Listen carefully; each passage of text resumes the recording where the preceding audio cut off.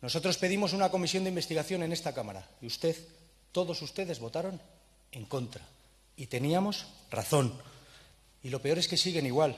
Ya entonces jaleaban a los corruptos mientras insultaban a quienes defendían la decencia.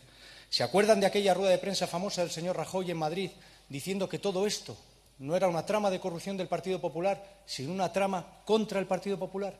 ¿Saben quién estaba al lado del señor Rajoy jaleando a los corruptos? El señor Mañueco, en la sede del Partido Popular.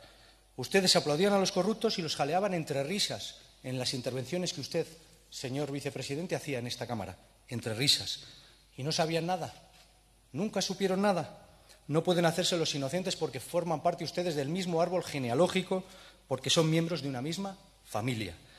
Mañueco sucedió en la Secretaría General del Partido Popular de Castilla y León a Herrera. Herrera sucedió como secretario general del Partido Popular de Castilla y León al señor Merino.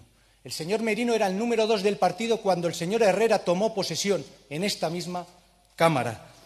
Miren, ustedes no pueden decir que era el pasado, era y es el presente. Son ustedes sus directos herederos. Miren lo que decía el señor Herrera cuando estaba a punto de ser ungido como sucesor. Nunca ha sido difícil la convivencia con personas de las que he aprendido tanto en política como Jesús Merino, hoy condenado.